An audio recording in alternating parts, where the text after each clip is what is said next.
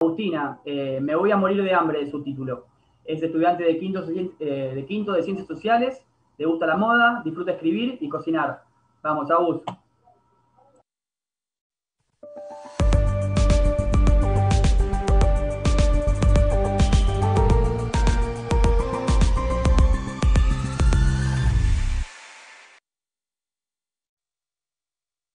Tomamos decisiones todo el tiempo. Cuando somos chicos, elegimos qué comprar en el kiosco. Pero vamos creciendo y como dicen las abuelas, chicos grandes, problemas grandes. Probablemente la decisión sobre qué vamos a estudiar es una de las más difíciles, o por lo menos una de las que más peso van a tener sobre nuestro futuro. Tengo una hermana melliza. Todas las decisiones que tomamos las hicimos sabiendo con que mínima cierta comparación va a haber. Y la pregunta sobre qué vamos a estudiar aplica perfectamente como ejemplo. Yo, profesorado de inglés, dice mi hermano ostentando un título con el que siempre soñó y que la gente ve como normal y aprueba con cierta satisfacción. Y yo, gestión de moda. Digo mientras me doy cuenta que la cara de mi receptor se desfigura un poco. La reacción de la gente varía. Va desde el asombro a la duda, desde las altas a las bajas expectativas y sobre todo desconcierto acerca de un futuro que no es de ellos, pero que igual les interesa opinar sobre. Probablemente pensaron que mi respuesta sería mucho más corta, no tan abarcativa, o por lo menos no tan desconocida porque estamos acostumbrados a carreras como medicina, abogacía, ingeniería. Vamos a lo que conocemos. Eso es cómodo. Y aunque nadie está exento, esas carreras parecen estar más lejos del fracaso. Sus caras esconden preguntas que por respeto no se hacen, pero que estoy segura de que surgen. ¿De qué se trata? ¿Te vas a poder mantener? ¿Tienes salida laboral? Todas respaldadas por una pregunta mucho menos elegante. ¿De qué vas a vivir? Me gusta la moda desde que tengo uso de razón. Cuando era chica era de manera inconsciente. Mi parte favorita del juego era crear outfits con la ropa de mi mamá. A los 11 años, en la casa de una de mis mejores amigas, empecé a escribir un libro con siluetas de niñas que esperaban a ser vestidas. Pero al final de ese libro estaba lo que a mí realmente me impactó. Diez hojas con imitaciones de tela, desde lana hasta algodón. Estas hojas gruesas y brillantes imitaban sus texturas y lo hacían con colores estridentes. Probablemente si me mostraran ese libro de vuelta, me llamaría la atención de la misma manera que a esa yo de 11 años.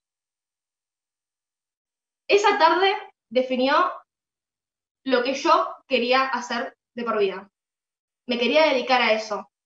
Y como vamos a lo que conocemos, decidí que estudiaría diseño de moda.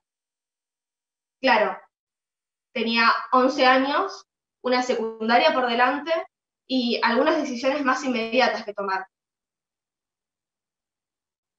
Empezó la secundaria y las preguntas más frecuentes de los adultos sobre mi futuro.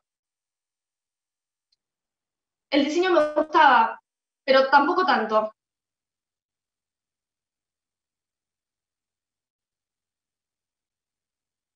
Fue así que un día, navegando por la web, me encontré con la página de la Universidad de Palermo.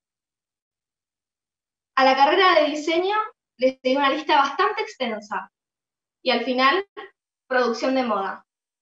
Leí el programa y me fascinó, pero seguía en el primer año de la secundaria y mis papás me apoyaron, pero no tomaron muy en serio mi decisión trascendental. Llegó tercer año y mis convicciones seguían fuertes, al igual que las preguntas de los adultos sobre mi futuro.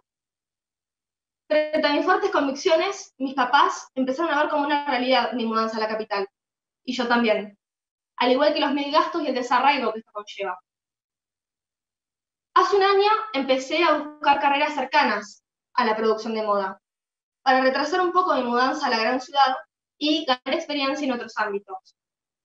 Fue difícil replantearme un orden que yo misma había preestablecido y que, como algunos saben, es difícil sacarme la agenda de la cabeza. Tuve que empezar a ver mi vida más allá de una carrera, como un objetivo al que llegar luego de mucho esfuerzo y trabajo. Como dije al principio, gestión de moda es lo que voy a estudiar el año próximo. La realidad es que no sé cómo mirar. Estoy dispuesta a todo. Me da intriga y un poco de miedo al mismo tiempo.